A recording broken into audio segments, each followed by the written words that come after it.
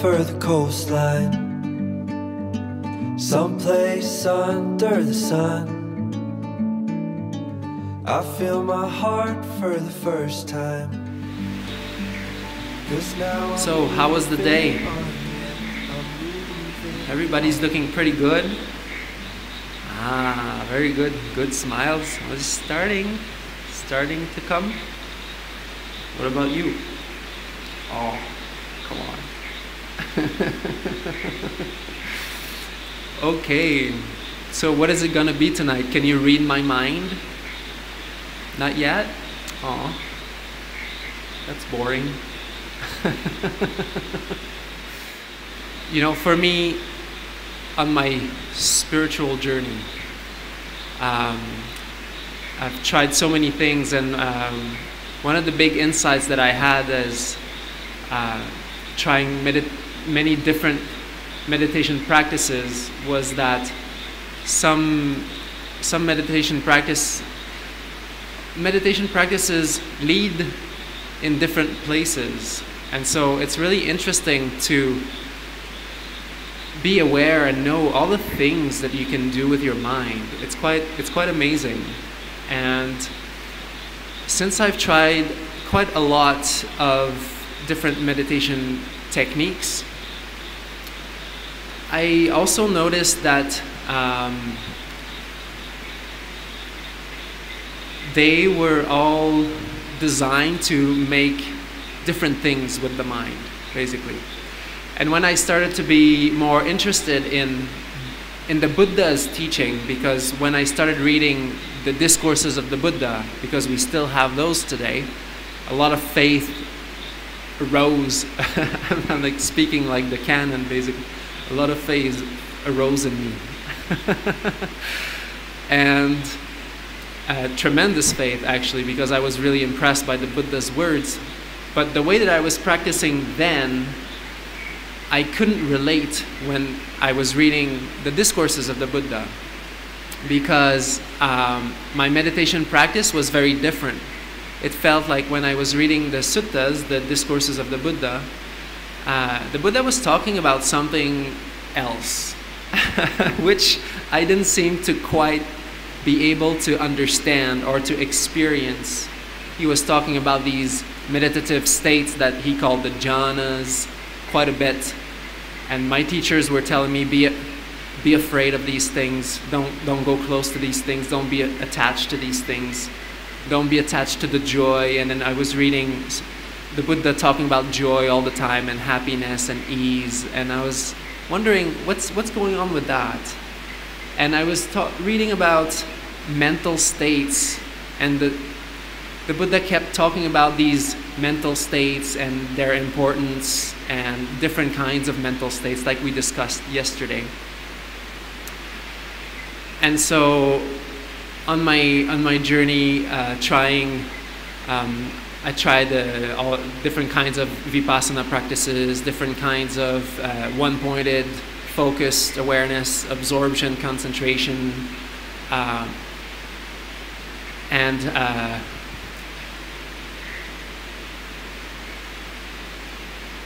other things that I've practiced were um, even uh, sweat lodge ceremonies, which sound which sound crazy. It sounds ridiculous. Why would I even talk about this? And actually, it turns out that these sweat lodge ceremonies in Mexico were uh, quite profound. It's funny because I I mentioned that to somebody at the in California that you know I went to Mexico for like on my spiritual journey, and when you say that, people kind of look at you like, hmm, because usually people think of like peyote and things like that, and uh, basically hallucinogenics and things like that. But don't worry, that was not my experience. Uh, it was just pure heat, and uh, actually, the medicine man I uh, learned from and spent time with, he was a herbologist, and he would make this huge barrel of a tea. There was like 15 different kinds of plants in there, and he would just cook them up. It was like camphor, peppermint, you know, harmless plants, and just really healthy plants. And we would go into the sweat lodge, and that's what we would pour on the rocks. So it, we would just like soak in that uh, for a really long time. And I would do these things for a really long time, like three, four hours, even doing yoga in there. And it's really interesting when uh, what happens in there is that it's so hot, even thinking becomes unbearable. You can't, you can't allow yourself to think anymore because it's just taking that, uh, that energy in the mind that is just too much already. Your mind has to let go of everything. After two and a half, three, four hours, uh, the mind has to completely let go of every everything. It cannot think anymore because it's too much. Just the thought weighs like crazy. It's too much to bear with. And I actually came out of these sweat lodges ceremonies, and my my mind was clearer than after a 10 day vipassana course. Uh, and I was really amazed at what these these things, these practices were able to cleanse my mind, how it was able to actually purify my mind, and it would last for quite a while. But the thing is, because this is a kind of a art, artificially done to the mind, it doesn't last for very long, and it's not based on wisdom, and it's not based on the wisdom of the Buddha, the discernment of, that the Buddha is talking about. And so this discourse tonight is about just that. A little bit more about what is this the core awakening of the Buddha regarding wholesome states and unwholesome states. And we've already touched upon that yesterday. And this is one of my favorite stories in the canon uh, because it's just a lovely, a, a lovely s- story the way that it's rolled out. And uh, it's this is Majjhima Nikaya 19 the two kinds of thoughts. And I really like that the Buddha is a, he rarely says, he rarely begins by, when I was a bodhisattva, still unenlightened, on my quest for enlightenment, uh, here's what I did. And so there's only a few specific places in the canon, in the texts, where we find these instances where he relates his quest before enlightenment and he shares a, basically a nugget, a part of his enlightenment to us. And so, this is what this discourse is. So, before my complete awakening, monks, while I was a bodhisattva, anybody here has any idea except the front row? And maybe the Sri Lankan part. what a bodhisattva is. okay, so it's basically just somebody that's in, in the search for uh, awakening, S- somebody that's not fully awakened yet, or uh, usually it more specifically towards a future Buddha. One, and a Buddha is someone who discovers uh, awakening on his own. We are lucky we get a Buddha to tell us, you know, here's what to do. But the Buddha don't have a Buddha to tell them. so they actually have to try a lot of things to figure it out. And so that's why they're called the Buddha, because they, they're a very special being. And so while I was only a bodhisattva, not yet fully awakened, I reflected. Let me meditate, discerning and dividing my thoughts into two categories so already that's an interesting, an interesting beginning.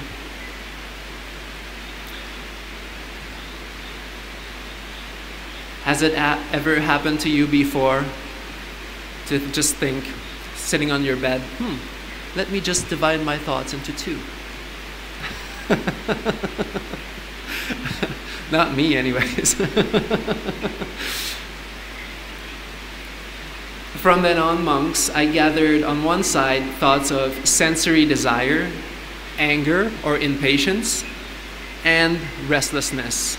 Usually, this is harm or um, violence, but I use restlessness in this case because it's very close. The restless mind is kind of always agitated and it's kind of violent in its in, in its own way in a, in a gentle kind of way but it's it pertains more to our direct meditation practice. And i gathered on the other side thoughts of letting go nekkhamma thoughts of non-anger abyapada and thoughts of contentment or calm basically the opposite of restlessness. And so I'd like to ask the audience so, what was your preliminary distraction today? Primary, what did I say? Preliminary, you know, that's not the word. primary.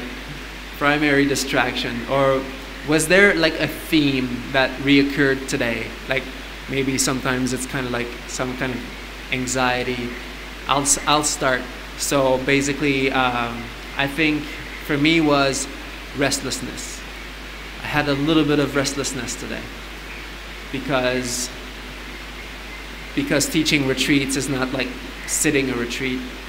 And so you have things to think about, and what am I going to talk about tonight, and uh, how am I going to say it, um, and then thinking what what sutta what will I share, what what is the most relevant topic for tonight. And so on this, the mind gets kind of like a little bit active, and that's what I, I experienced today. But that's an example. I'd like to hear from you. That was not meant to be about me.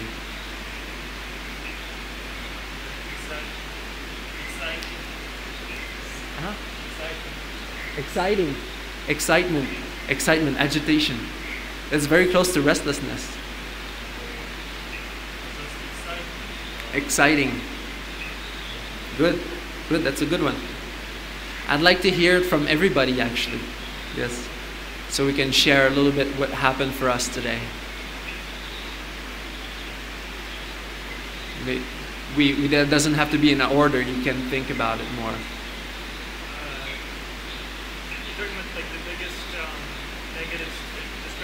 Uh, yeah, the main highlight. Yeah. I would say self-doubt. Self-doubt. Uh-huh. For me, anyways, doubt is kind of the king hindrance. Uh, the king hindrance. The other ones bring it with them, and yes, it also brings other hindrances with it. Yes. Yeah, the king hindrance of doubt, which brings all the other distractions along along its path. Restlessness and ah oh, well, I can't meditate. I might as well go for a chocolate sundae. and then, darn, there's no chocolate sundaes around. and then anger arises. Oh, that's pretty good. Thank you. Yes, that, that's a good one. Craving for progress and meditation. yeah, that's great. I mean, this is uh, the more the more we meditate, the more we make progress on the path. Usually, the more this is the main hindrance. Basically, is trying to get somewhere you've been because you know how it is, and just it takes time and it's not there. So, uh, did you think about yours? planning, planning restless mind. That's close to mine. yeah, good. Yeah. Then second row. Or anybody.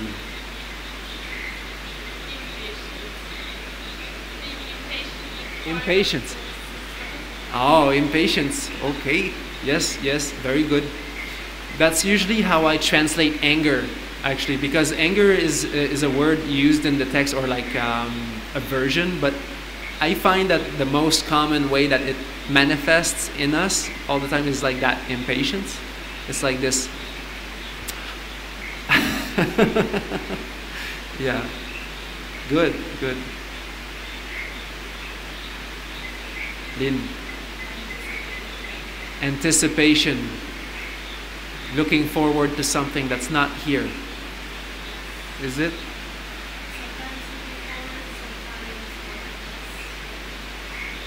Some. Ah, yes. Good. Good. Sham. doing little things that don't really matter instead of meditating. Okay, so what would that fall into? Hmm. Maybe restlessness? Well, yeah. Or sloth and torpor of time like lazy. yes. good. Good. What about our Scandinavian crowd? Yes. Self doubt. Self doubt. Yes. Why? You're doing so great.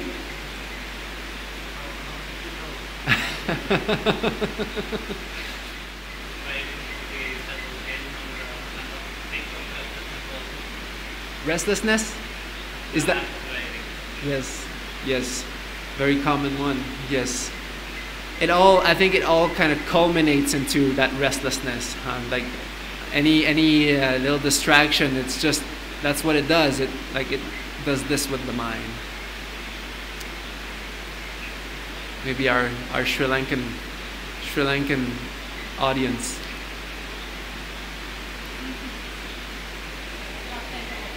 Sloth and torpor.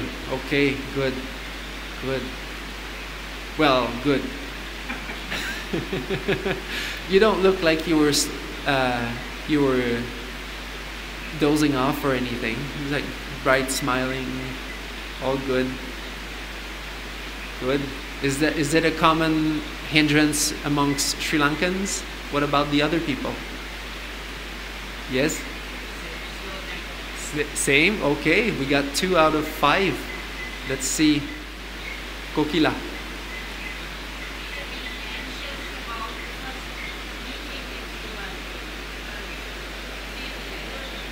PT. Anxious, yes. Anxiety, yes. Yes. Yes. Uh-huh. Anxiety. Very close to restlessness, yes. Uh-huh. Good. And at the back is that Ranjani. Oh, no hindrance today. We got a winner. what about Vajira? Good. Well, okay, great. Thank you all. Uh, oh, there's Flo. Je t'ai laissé en arrière. Same thing. Same thing.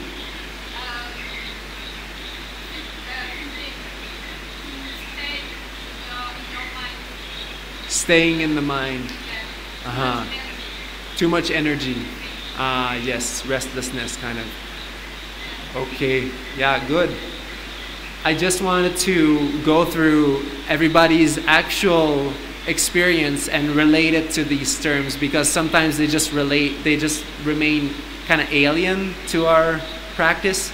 But when we actually uh, can say, like, uh, if if you wanted something, for example, like you're thinking of the beach, maybe, or like how you'd like to be at the beach, well, that's kind of like uh, wanting for some kind of sensory thing. So that's the first one, or like the the impatience in terms of. Uh, so, you know, it's not always full-fledged anger. That's not always something that we can bring home to our practice. But impatience is quite manageable. We can actually we can actually see impatience quite quite well in, in, in a lot of ways.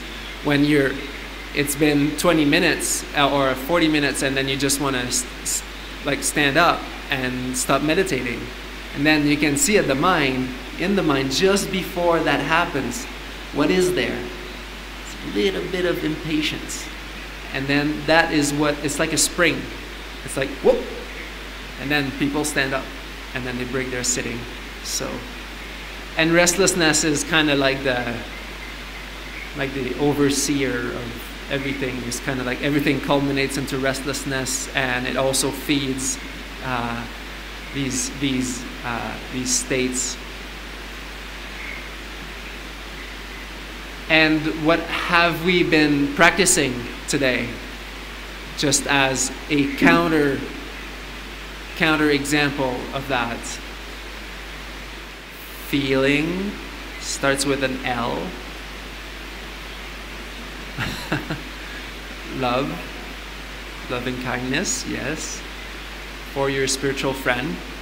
So that would be in the category of non anger. That's what that means. Uh, non anger is loving kindness, compassion, joy, and uh, thoughts of wanting things. Then, what is the opposite of that that we are practicing? Um, it starts with there's there's six of them. There's six and they all start with R. What's the answer? yeah, so the release and relax, that's the letting go, that's the nekkhamma. So, what we are practicing, you can actually see here and now, it's, it's in there, it's right there. It's, we're not making this up. It's just that. Uh, we need to know these things for, for us to uh, understand that th- these are meditation instructions that the Buddha is giving. It's not just, uh, you know, fixing your awareness on something, it's actually developing wholesome states of mind, which culminate into liberation, collectedness, and samadhi. Then, while I was meditating, attentive, intent, and resolute, there arose thoughts of sensory desires or just wanting something, wanting something that is not here. Then I reflected this is troublesome. This is troublesome to others, and this is troublesome to both. These thoughts impede conscious discernment, they come with tension in the mind, and they lead away from peace. So when a thought that arises in the mind about, oh, I want to be at the beach, or oh, I, would like to be there or do this, then is the mind actually content? Is it actually happy, peaceful? Not really. It's, it's kind of moving out, it's kind of flowing out. That's why we call it asava, because it flows out.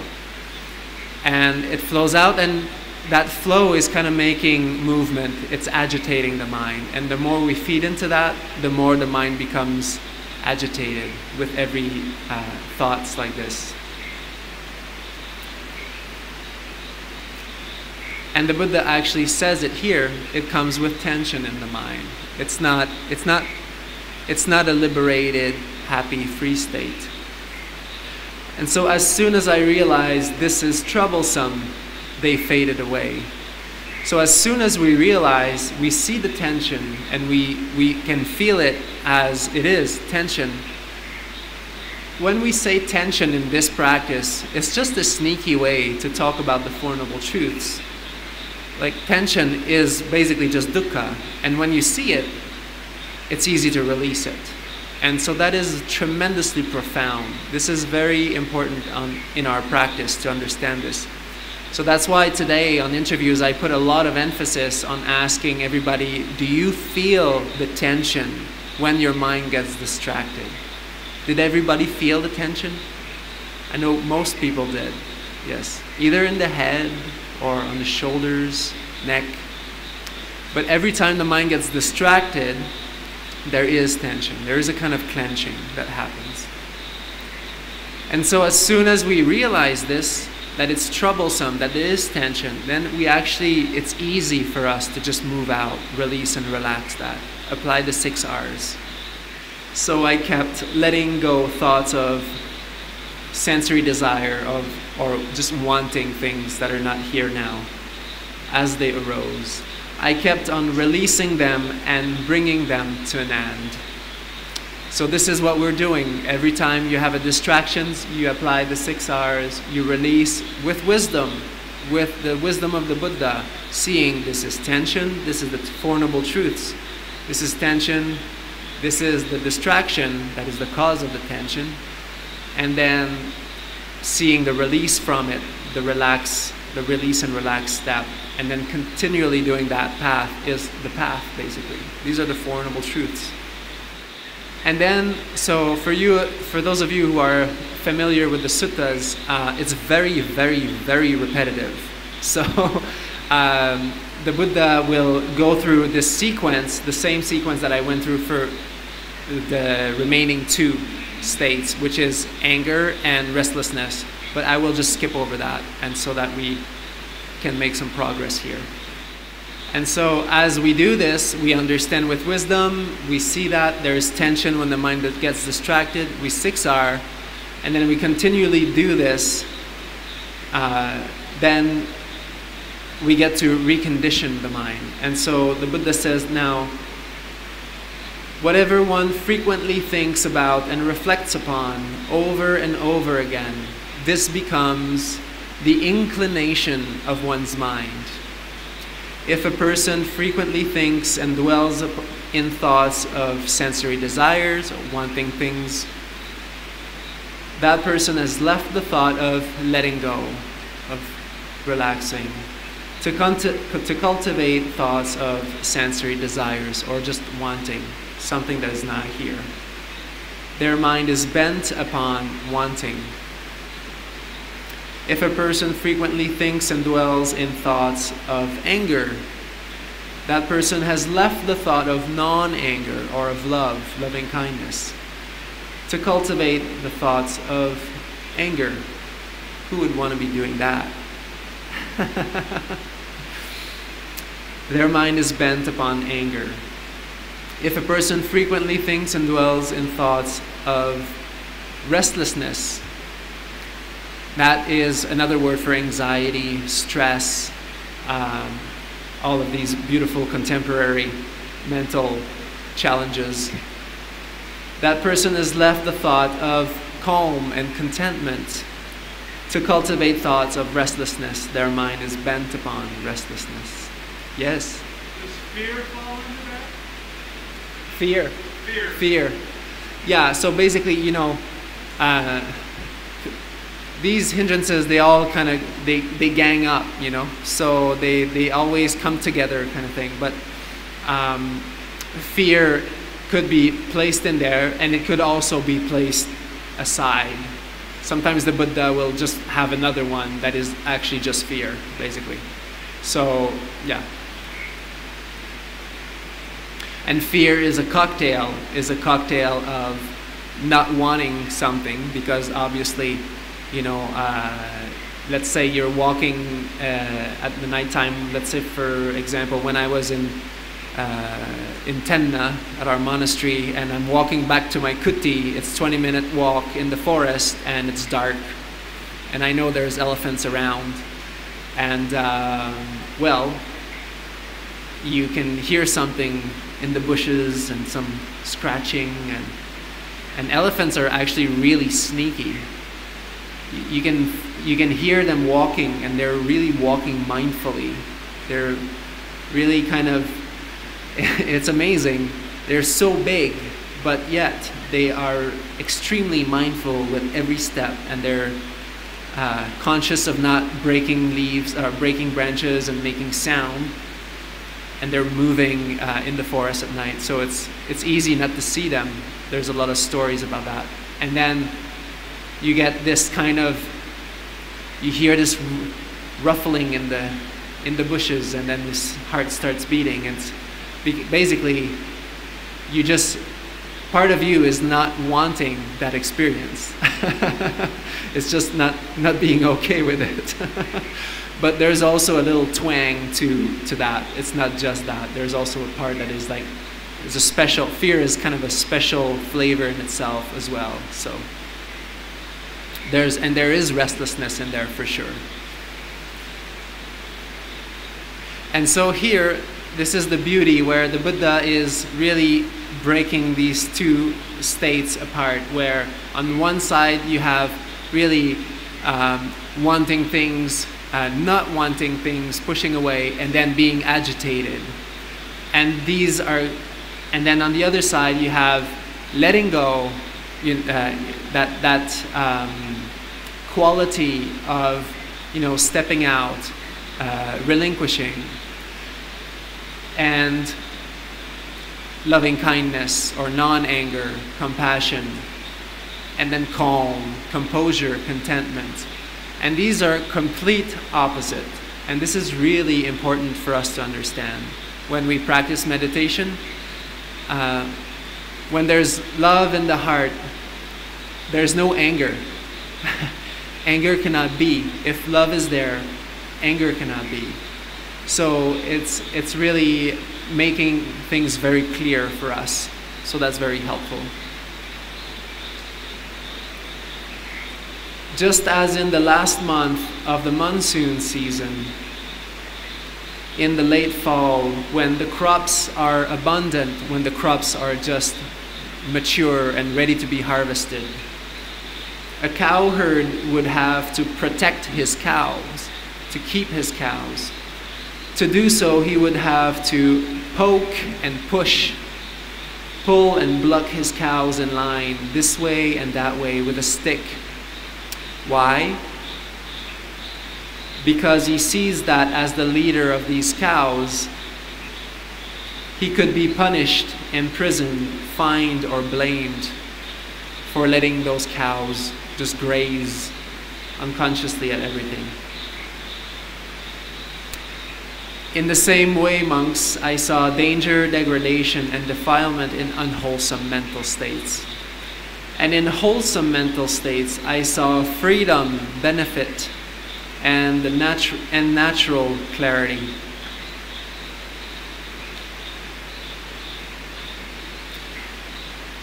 So I really like this analogy of the Buddha. He's talking about, you know, the, the cows is, is the mind. this is our mind. All the cows are all of our mental states. And when we do not understand this wisdom, we have to, when we don't understand the nature of states, then we have to control our mind. We have to push it and poke it and control it and make it go this way or that way, and that's demanding, that's very demanding. Uh, like I was saying uh, in the previous retreat, I, I used to uh, be a long time server at the Vipassana Center in Montreal, and uh, I would I would try to keep this kind of awareness going, the, the awareness that is kind of taking an object all the time, or just like trying to be aware of everything all the time, kind of thing. A little bit like the noting, the noting uh, kind of meditations. And I remember uh, just being like in the kitchen, and I was kitchen manager, and I had a lot of things to do. We were cooking for 200 people, and so we were very active kitchen and um, I would be like, I remember myself cleaning the dishes and just like trying to be aware of, you know, of my like scrubbing the dishes and not knowing for me, not knowing the wisdom of wholesome states, I felt like I had to always block and push my mind and poke my mind in that direction all the time. And whenever there was a distraction or a hindrance outside, I would have to kind of block it off and shut it off. And this is very demanding. It's, it's difficult to do, and it's not very sustainable. And the more we do this, the more we need to be controlling, the more we need to push and control and block and pull. Whereas when we understand the nature of wholesome states, we don't need to do that. And that's going to be the next. Uh, then, when I was meditating, attentive, ardent, and intent and resolute, there arose thoughts of letting go in my mind. Then I reflected this is not troublesome. This is not troublesome to others, and this is not troublesome to either. These thoughts are for the growth of conscious discernment. They bring no tension in the mind and they lead to peace. So, as we did that little exercise yesterday, uh, comparing how does it feel, how does anger feel inside of us, and how does love feel inside of us, they're very different. And one is very, uh, love is very, these wholesome states are liberating, they're open, uh, they're free, and they come with no tension in the mind. So, this is really important to, to understand. This is what supports this whole meditation. Then I reflected if I were to think and dwell upon these thoughts day and night, I see nothing to fear that could arise from this. And so there's, there's, these states are blameless. Whatever will happen, if our mind is wholesome, these, these states are blameless. And so there's nothing to fear. So when the mind is only dwelling in wholesome states, there's no fear that can arise. We're protected. But there's a little tweak here. Then I reflected if I were to think and reflect constantly, before long my body would become exhausted. With an exhausted body, the mind is unsettled. An unsettled mind is far from collected mental harmony, so samadhi. So, this is like the reverse sequence that we recite every morning on natural collectedness. So, basically, if we were to think about letting go all the time, if we were to basically use the six R's continually, try to do the six R's and think the six R's away, we're actually not using the six R's properly. And we would be creating a hindrance for ourselves. Because even though we would think, like, uh, oh, let me relax, let me relax, let me relax, let, I'm gonna relax, oh, I'm just, I'm relaxing, this is relaxing, I'm relaxing. Now I'm really relaxed, now I'm, I'm really, really relaxing all the time, relaxing, relaxing. Well, actually, the mind doesn't get to relax deeper. So, to think about these states, like loving kindness, for example, oh, uh, it's the same thing with the spiritual friend or sentences. We only use them to bring up the feeling, but once the feeling is there, we don't need to keep activating the mind. We just say, May you be happy, may you be peaceful and calm. And then if I were to say, May you be happy, may you be happy, may you be happy, may you be happy, may you be happy. After two hours, that would be pretty strenuous. So see here, that's the contrast. So we not only do we want to cultivate these wholesome thoughts, but we also want to allow the mind to calm down and to for these states to reach their full maturity, which is much more calm. So not activating the mind by thinking all the time. I then calmed my mind and gathered it on itself. I unified it and brought it to collected mental harmony. Why? So that my mind be undistracted. So see, even though it's it's a wholesome state, if we keep kind of churning our minds about it, it still becomes a distraction. It's a better one than the previous ones, but it's still it can go deeper. And I like this particular sutta because the Buddha he kind of highlights this very important part of the practice where it's not only about cultivating the metta and repeating phrases, it's actually also letting go of the phrases. I'm not sure if you are familiar with the traditional way loving kindness is being taught right now, nowadays, but it's constantly saying, repeating things. May all beings in the front direction, may all devas, may all non humans, may all yada yada yada yada yada yada all of these things and we keep thinking thinking thinking but the mind doesn't get to actually settle down and experience a more mature loving kindness. So this is very important in this practice. And the buddha explains it very well here. Whatever one frequently thinks about and reflects upon over and over again this becomes the inclination of one's mind. And see now we're slowly starting to talk about how the mind works and this is a process that is called dependent origination, paticca samuppada, which we will start to break down a little bit more every time because this is just the structure of the mind and how it operates, how we condition our mind the way that it does. So, like when the mind gets distracted today, where does that distraction come from? How does it arise? Why, why, why can't you say, can, can you say to your mind, I want to uh, stop thinking completely, here and now? How long is that going to last? Maybe a few seconds? But why, why can the mind not think? If you, if you tell it not to think, why can it not think? Or can you tell your mind, I want to experience Nibbana now? Nirodha Samapatti. Now. Doesn't work like that. Because the mind is trained in another way. It's trained to think, it's trained to be active.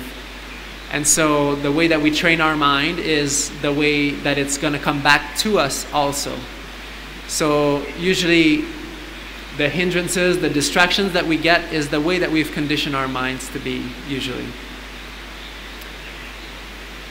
And this is a principle that is called neuroplasticity in neuroscience, but I'm not the professional.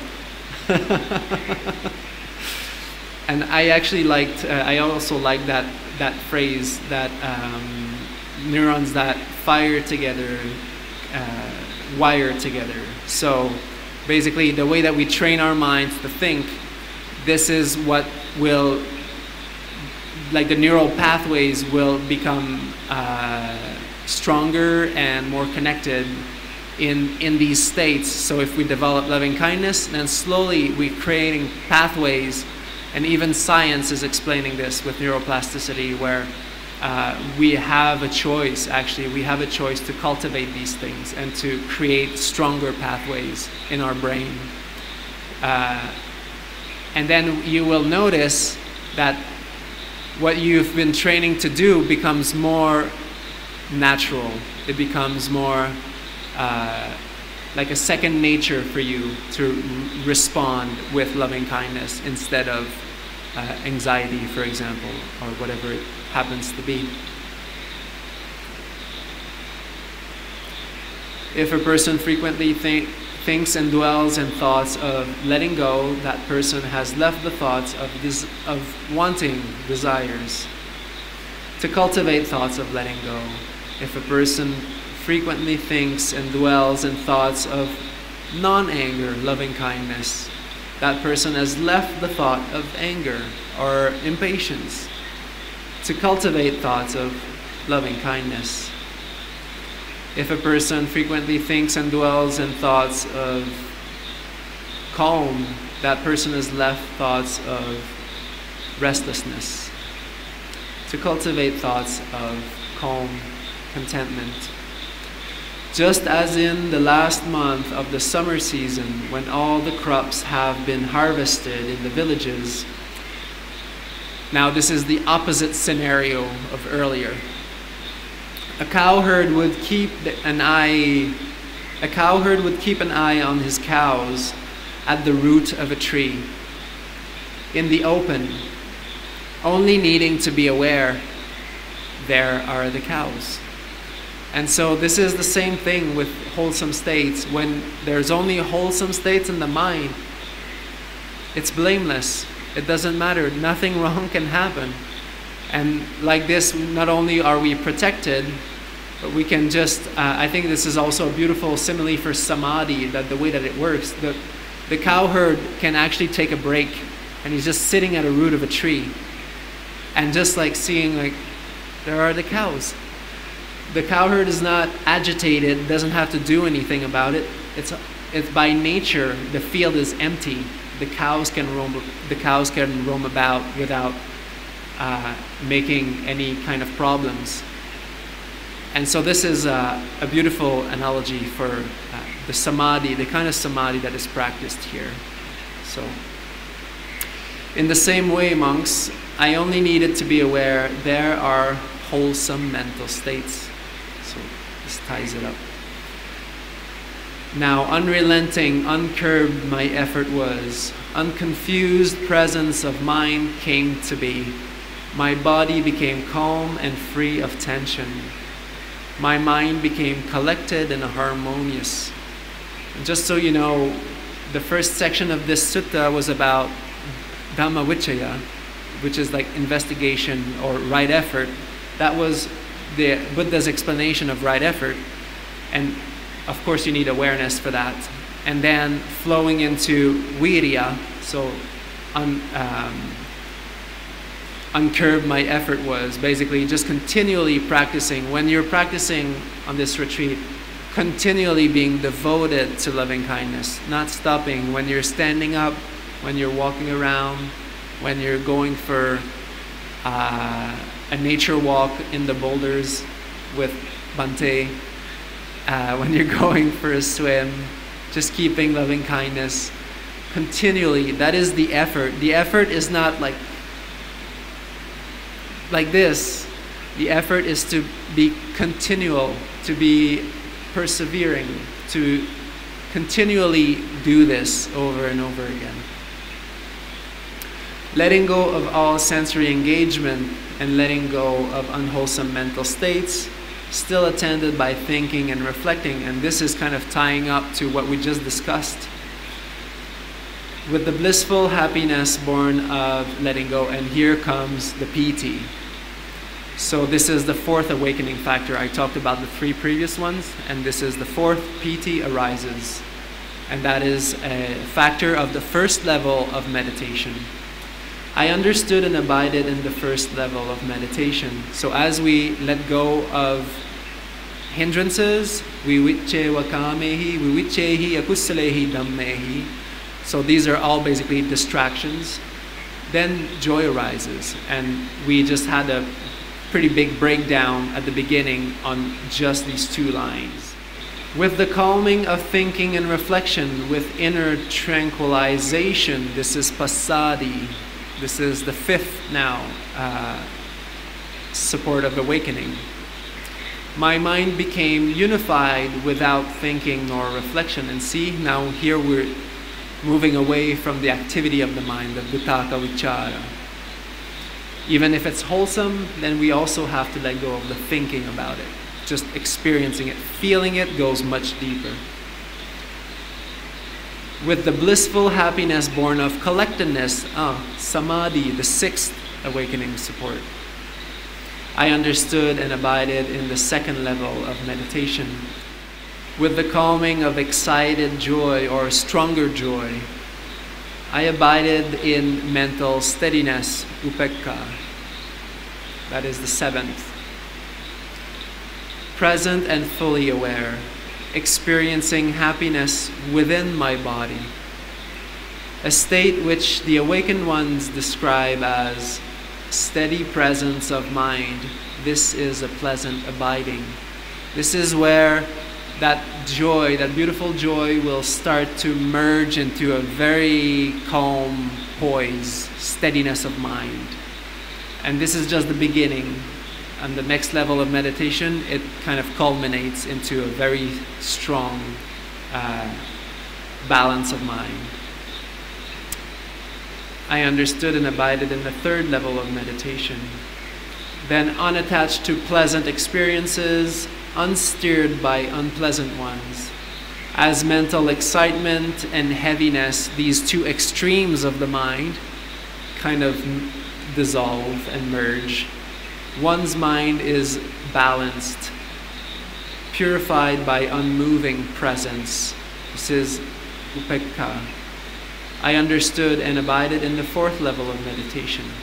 So these levels of meditation are, are quite uh, very usual sequence that the Buddha used. They're probably one of the most uh, common sequence found in the canon to describe this meditation. And so, as we practice the six R's and mental uh, development with loving kindness, right effort, and um, letting go of unwholesome states, naturally the mind will go through this process of uh, basically liberation. In, uh, in other places, the Buddha calls these uh, meditation states, these stages, he calls them temporary liberations of the mind. Because we are clearing, cleaning our minds, and they're going through these stages of liberation more and more. And when we kind of when we stop or when the experience becomes a little bit coarser then you know we, we kind of drift away from those so they are temporary but they are the way they are still the way of training that will bring us uh, what he calls the unshakable releases, the unshakable liberations. With this composed and collected mind, wholly cleansed and purified, clear and open, rid of imperfections, having become pliant and malleable, straight and unwavering, I directed and inclined my mind to the complete calming of mental movements, the asavakkhaya. I directed and inclined my mind. I understood mental movements as they really are. This is tension. This is the increase of tension. This is the release from tension. This is how to release the tension. Is there anybody here that could tell me what, what, this, what is this sequence, these four lines? What is this sequence about? The Four Noble Truths, yes. So it, it's always about applying that template. It's always about applying that template. And the six R's is another way of understanding that template. I understood mental movements as they really are. These are the distractions. This is the increase of distractions. This is the release from distractions. And this is how to release the distractions. So these are just ways to understand what is happening for us in the mind. Continually observing and understanding in this way, my mind was released from the inclination from clinging outwardly, from the inclination of projecting in the future, from the inclination of to negligence, carelessness. In that release, I knew this is release. I directly knew unwholesome states have been overcome. Lived is the spiritual life, done is what had to be done. There is no more conceit here. So that is what happens at the very end. Just so you have an idea, maybe a glimpse of, you know, what that liberation that the Buddha tapped into felt like. And now there's a beautiful uh, little analogy at the end to, to summarize uh, the story of the Buddha. Just as if there was in a remote forest a vast and extensive marsh on low lying grounds, where would live and forage a great deer colony. You can actually see some deers around here, uh, there's quite a few. Then some man would come intent on their ruin, intent on their harm, intent on capturing them. He would cover up the safe and free path to be traveled with joy. And he would open the deceptive path, set down a groom decoy, and bring up a domestic lure. Because of this, after some time, the great deer colony would be brought to ruin and decline. Then some men would come intent on their happiness, intent on their welfare, intent on their liberation. He would clear up and reveal the safe and free path to be traveled with joy. And he would cover up the deceptive path release the decoy and remove the lure. Because of this, after some time, the great deer colony would be brought to growth, prosperity, and abundance. This story I just told you, monks, is to teach a lesson. Here is the meaning.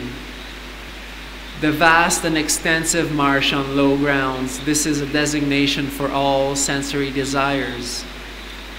The great deer colony, this is a designation for all living beings. The man intent on their ruin, harm, and capture, this is a designation for Mara and wickedness. The deceptive path is a designation for the unwise eight spoke path. That is unwise understanding, unwise thoughts, unwise speech, unwise behavior, unwise living, unwise practice, unwise awareness, and unwise meditation. The decoy, this is a designation for the happiness of craving. Because there is a kind of happiness that comes from it. But this is a very poor investment. It can be taken away at any time. And it doesn't come from us, it comes from outside. The, and the lure, this is a designation for lack of conscious discernment. The man intent on their happiness, welfare, and liberation, this is the designation for the Buddha, the Tathagata, truth finder. Worthy and perfectly all awakened. The safe and free path to be traveled with joy, this is a designation for the eight spoke path of the awakened. That is wise understanding, wise thoughts, wise speech, wise actions, wise living, wise practice, wise awareness, and wise meditation. Monks, I have reopened the safe and free path to be traveled with joy, and I have revealed and closed the deceptive path, released the decoy, and removed the lure. Monks, what should be done by a teacher for his students, holding their best interest at heart, out of loving compassion, that I have done for you. There are these roots of trees, monks. There are these empty huts. There are these meditative meditators' cells in Sandun Arana Monastery these monastic kutis. Meditate, monks. Do not be neglectful, lest you become remorseful when the time has passed after your 10 day retreat. This is my advice to you. This is what the awakened one said. With an uplifted mind, the monks delighted in the awakened one's words. So sadhu, sadhu, sadhu.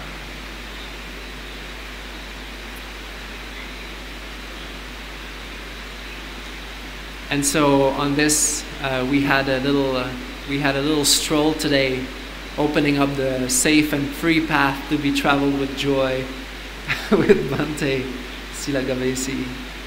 Uh, and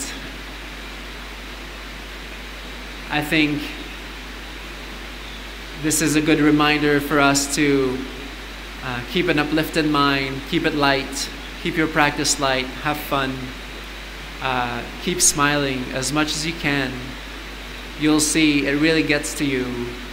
And what one frequently thinks and dwells upon over and over again, even if it's just a smile, that will become the inclination of the mind. So smiling will become an inclination of your mind. So keep keep having fun. Don't buy into the story of your mind when it comes up with things and it becomes serious and it thinks, why am I not able to meditate? Oh, why can't I attain nibbana? And just laugh at it. You saw the monkeys today, it's just like jumping from branch to branch. It's the same thing with the mind. It's just always worrying about something. and so have fun, keep it light. Sometimes when you read the sutras, it sounds like the Buddha is telling you to control your mind, ah. or like tame it like an elephant yeah. uh, or, or a wild animal. So, what degree of control is necessary? Do you ever need to kind of like just kind of scold the mind, or like use any kind of force? So basically, that, that largely stems from a sutta that is called Vitakka San- Sankhaya Sutta. It's like number 20 or tw- yeah, 20. Um, where there is some kinds of uh, examples where uh, you you would kind of like have to control the mind or things like that. Um, but really, when the, the Buddha used the word taming, taming the mind is basically he's he's not really like because the word taming in our minds in our english vocabulary and what the buddha actually means when the when the buddha talks about taming it's more about training. So when he's talking about taming an elephant, is basically there are similes where he's talking about going to get a wild elephant in the forest and coming in and like knocking down the post on the ground and tying him to a post and then educating him basically. Like showing him good manners being comfortable around humans knowing how to behave how to uh, uh, you can you can even see that at the Sri Dalada Maligawa when they, they train the elephants for the the perahera uh, the, the elephants can even bow they bow they bow to the temple and so just showing them, uh, and it's like the mind basically, showing the mind what is good conduct, what is how to taming the mind is basically is basically a word. Taming is a word we use for like animals, like training animals. Like he uses the thoroughbred horses, uh, basically how to how you train a horse properly so that it becomes a thoroughbred it becomes a, a well a well trained horse that you can the king can mount basically. So it's the same thing for the mind. We're showing it the right way to behave, wholesome way of behaving, um, harmless ways of behaving. Because if, if the king mounts an elephant and it just starts to trample everything around, I mean that's that's not really a point. And as far as controlling um, to me, in my humble understanding of all of this, if there is the need to control, then there is a lack of wisdom. So, whenever we feel like we need to control the mind, that means we're not actually seeing the real nature of what's happening, basically. Because if the mind has to be kind of really controlled, then something is happening we're not letting go basically or not we're not cultivating it in the right way and so it becomes this thing where we feel like we need to push and pull and block and uh, poke our cows in line but in reality if we know which states to grow and these are just wholesome states uh, unwholesome states uh, if we know how to turn these into wholesome states then there is no need for that. So, yeah, that's why I, I'm careful about the word refrain, uh, restrain. Also, restrain is a word that it's like you have to use it in the right context. You know, it's like because in the way that it's been understood nowadays, this teaching is very different. So we have to really some of the words can, can create some problems like that. So but that's a really good question. I think I understand. I'll try to answer as, as best as I can. Um, so basically, I started with, you know, this is the Buddha's awakening. This is how he, this is a piece of it, anyways. Because in the suttas, there's quite a, there's a few instances where he shares this kind of part of his own awakening. And this is one of them. And um, here he's talking about these wholesome states. Basically, as I said, as I explained, uh, this sutta starts with Dhammavichaya, which basically this sutta is one of the most beautiful elaboration, complete elaboration on the seven supports of awakening, the Satta Sambojjhanga. It's very detailed and it's fleshed out, packed, uh, unpacked completely. And we start with Dhammavichaya. And this is uh, not only awareness and awareness that goes towards understanding states, wholesome states of mind, unwholesome states of mind, and what to do with these two. So it's one thing to know it, and then it's another thing to know what to do with them. So, as as I say in my in my book, which is not out yet, one of them you let them go, and the other ones you let them grow, basically. And as you do that, then continually doing that, uh, then that is virya. Virya is the continually doing this over and over again. Applying the six R's. When your mind is distracted, doesn't matter. You just six R that and then you can continue all the time, and that is the way the mind becomes purified. Now, when that happens, then joy arises, relief arises, gladness arises, piti, uh, pamojja, and then because when one uh, realizing that these five hindrances have been abandoned within, gladness arises. That's what we say every day. From that gladness, joy arises. And so that is the piti. These seven supports of awakening, I mean, that's the awakening. it's the awakening of the Buddha. Why did he call the seven supports of awakening? It's because that's in another sutta. That's why I call them the supports of awakening. He says it's the, it. They are all like rafters of a peaked roof. They're all leading, inclining, sloping towards nibbana, basically, towards liberation of the mind. And that's why I call them the supports of awakening. It's from that sutta because anga anga is also it can be a, a limb but it can be a support or some kind of bojjhanga and so from there we have an elabor- elaboration of the jhana so as you do this continually then the mind will progress and go through the territory of release there will be stages of release of the mind and these are the jhanas basically it's not it's not black magic or anything. It's just really simple, really. It's it's just as you let go, the this is what is going to happen to your mind. That's all that means.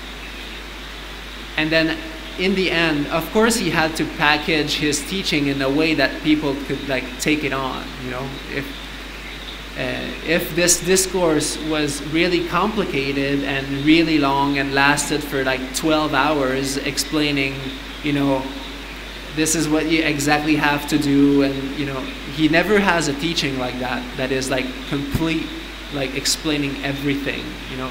That's why he taught it in many different suttas. But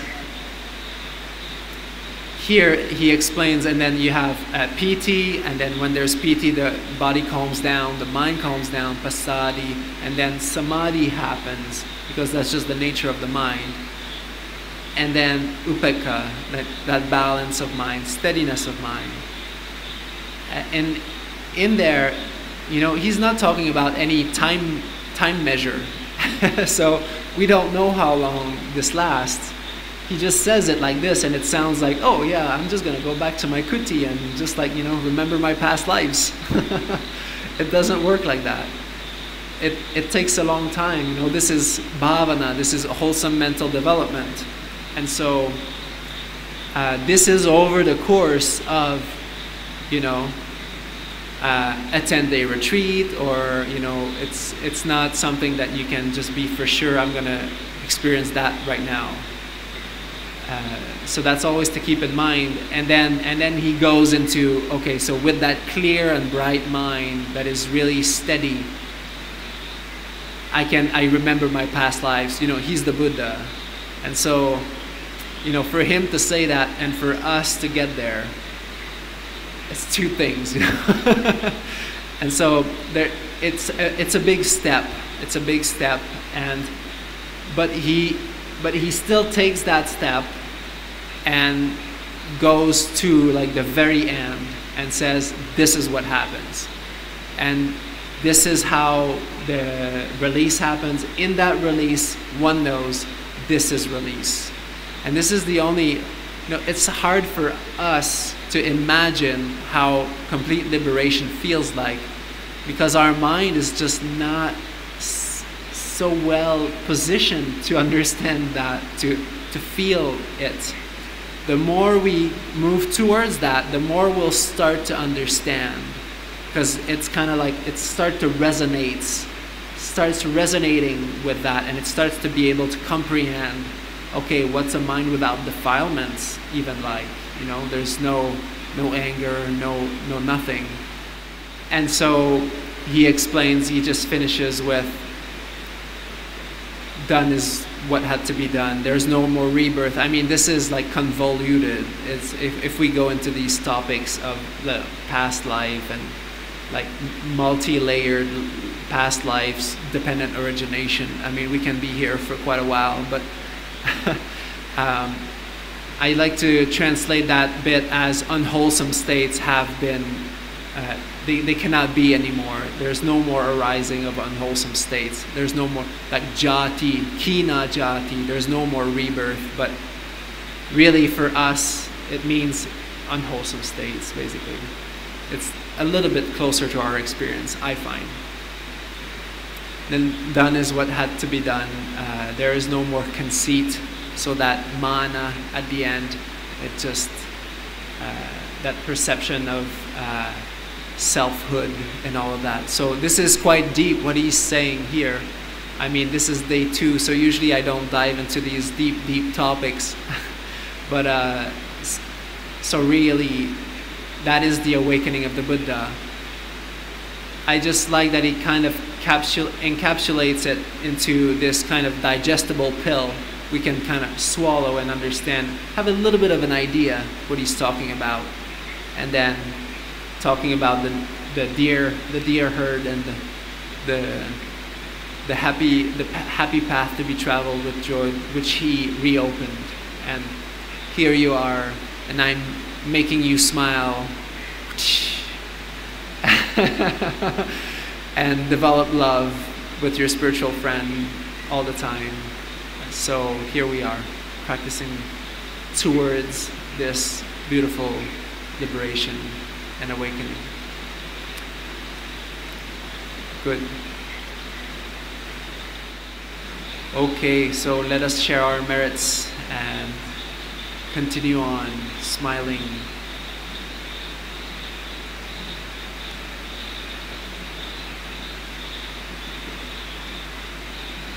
May suffering ones be suffering free, and the fear struck fearless be. May the grieving shed all grief, and may all beings find relief. May all beings share these merits that we have thus acquired for the acquisition of all kinds of happiness. May beings inhabiting space and earth, devas and nagas of mighty powers, share these merits of ours. May they long protect the Buddha's dispensation. Sadhu, sadhu. I'm leaving home for the coastline. Someplace under the sun. I feel my heart for the first time. Cause now I'm moving on, yeah, I'm moving on.